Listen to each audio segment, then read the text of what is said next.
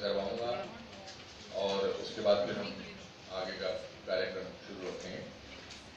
तो आज से डेढ़ साल पहले अ, मेरे पास एक नौजवान राइटर डायरेक्टर आया उसका नाम सात्विक मोहंती है और उन्होंने मुझसे कहा कि मैंने एक फ़िल्म लिखी है और मैं इसे डायरेक्ट करना चाहता हूँ और इसमें आपके लिए एक बड़ा अच्छा रोल है ठाकुर भैया का और आप उस फ़िल्म में मैं चाहता हूँ कि वो हमारी फ़िल्म के मेन विलन हैं और आप वो रोल करिए तो मेरी अ, पहला रिएक्शन था कि बहुत दिनों से किसी फ़िल्म में विलन का रोल नहीं किया तो एक अलग किस्म का रोल करने को मिलेगा। मैंने उनसे रोल सुना, कहानी सुनी, मुझे कहानी बहुत अच्छी लगी। बिल्कुल धरती से जुड़ी हुई हम सब लोगों की कहानी, आपकी कहानी, हमारी कहानी।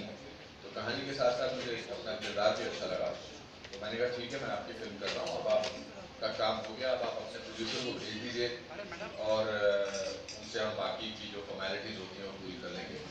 तो उसने बड़ी मासूमियत से तीस सेकंड का पॉज लेके बोला कि मेरे पास प्रोड्यूसर नहीं है। मेरा प्रोड्यूसर नहीं है तो फिर यहाँ मुझसे क्या बात करने आए? तो मैंने नहीं मैं चाहता था कि आपको रोल अगर पसंद आ जाए तो मेरे पास किसी प्रोड्यूसर को बताने का एक मौका होगा कि ये जी भी ये कर रहे हैं। मैंने कहा काम करो जब तुम्हारे पास प्रोड्यूसर मिल जाए तो मेरे पास आ जाना अभी आप अपने घर जाओ। उसके तकरीबन दो महीने बाद फिर मैंने सात्विक को याद किया और मुझे लगा कि अ, देखता हूँ उनको कोई प्रोड्यूसर मिला कि नहीं मिला मुझे कहानी अच्छी लगी थी रोल अच्छा लगा था मैं करना चाहूँगा या हो सकता है किसी और को तो नहीं ले लिया उसने। तो मैंने उसको फ़ोन किया मैंने कहा आपके पास प्रोड्यूसर मिले आप इधर उधर हो या फिर पहले आगे नहीं मिले मगर जैसे ही मिलेंगे आप पहले से करते इंटरेस्ट मत खोइए मेरे इस प्रोजेक्ट में। मुझे लगा कि बहुत साल पहले आज से छत्तीस साल पहले मुंबई में मैं भी अपने कुछ सपने लेकर आया था। और मैंने भी सोचा था कि मेरे मेरे को कोई मिलेगा जो मुझे मेरे सपने पूरे होने में मदद करेगा। तो मैंने सात्विक से कहा कि ठीक है हम मैं आपके लिए प्रोड्यूसर ढूंढता हूँ। मैं आपके लिए एक ऐसी शख्सियत ढूंढता हूँ जो इस प्रोजेक्ट में आ, पैसा लगाने के लिए रेडी होगी।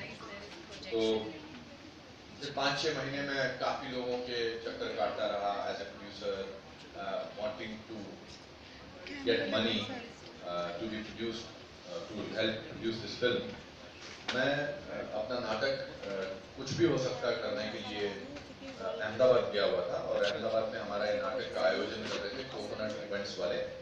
तो मुझे लेने के लिए कोकोनट इवेंट्स के जो मालिक हैं, रश्मि मजीठिया जी, वो मेरे जाने वाले निकले और उन्होंने मुझे मेरी फ़िल्मों में पसंद किया है तो वो खुद आए मुझे लेने के लिए।